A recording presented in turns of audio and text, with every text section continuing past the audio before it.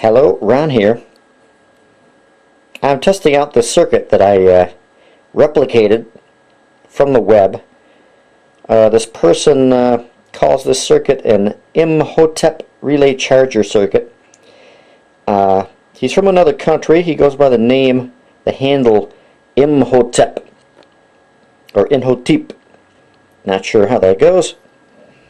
But this is basically a uh, radiant charger that is a uh, electromagnet that will turn itself off and on to pull in outside energy into uh, the collapsing magnetic field and charge batteries or at least treat them. So I'm going to test out the circuit and see how it does. Uh, it's very intriguing. Uh, basically he took a uh, normally open relay that is the contacts between uh, 30 and 87 there right now uh, is normally open not touching and the electromagnet charges up and uh, hits the other contact. Uh, in this case uh, I've altered or he has altered the relay so that when the circuit is closed it will energize from the source battery. It'll be a closed circuit. Uh, when it's closed, the electromagnet will get charged and pull the contact down, disrupting the circuit, turning off uh, this magnetic field. So you have a constantly collapsing magnetic field which creates a lot of energy. Uh, it's what keeps uh, uh kept burning out uh, DC generators in the 30s and they couldn't figure out why. It's all the extra energy that pours in from the environment around you.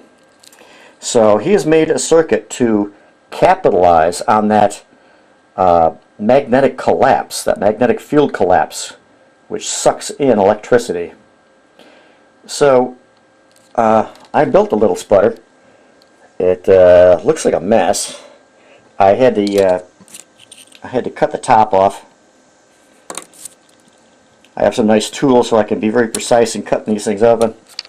And you can see the magnetic coil. It, uh, I should say electric coil, it turns into an electromagnet. It's a contact in the front.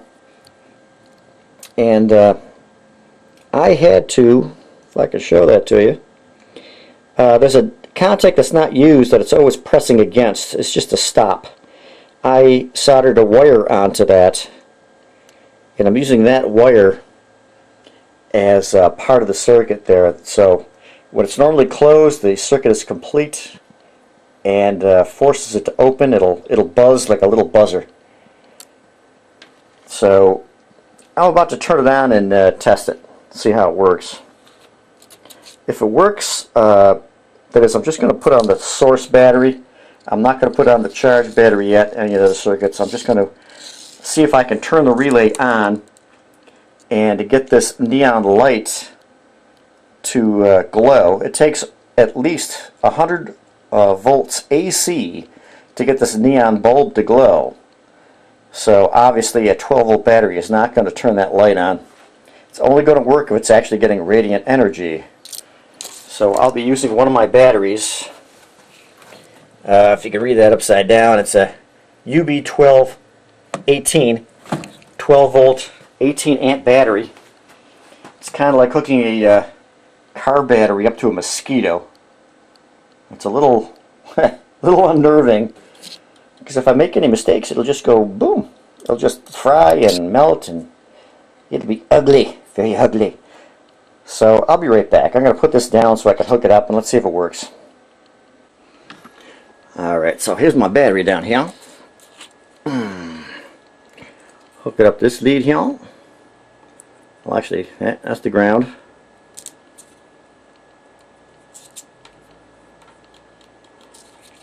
And the power wire goes over to this side here. Now when I hook this up, this little baby should start buzzing. Woo, and it is buzzing. Very, very quiet. Yes, the neon light is glowing. Let me turn that light off.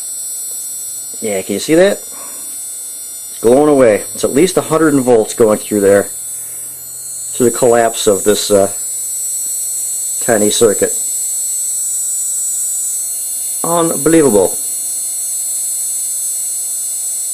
That puts it in a on a par with my uh, Bedini pulse motor. I'm back. Uh, the Bedini pulse motor here also has a neon light on it, and uh, it takes a uh, a large transistor and a couple of uh, couple of uh, heavy-duty components, some resistors, and it takes a moving wheel with magnets, and it takes a coil. It's a bit of a mess right now because I've been fooling with it again. It takes a, a big coil of wire to get the same result as that tiny circuit right there. Okay? That gob of wire costs $50 at least. This magnetic wire is uh, uh, very expensive. Very, very expensive.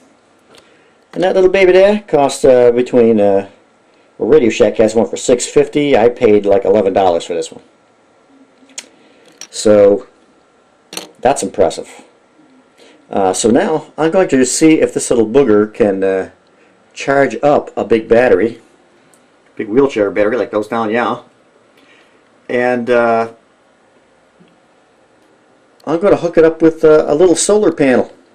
This takes so little energy to move that uh, I should be able to run this with a solar battery uh, or solar uh, panel, small solar cell, and uh, I want to see if I can put any current into a 12 volt battery. I'll get back to you with that. This is Ron for now.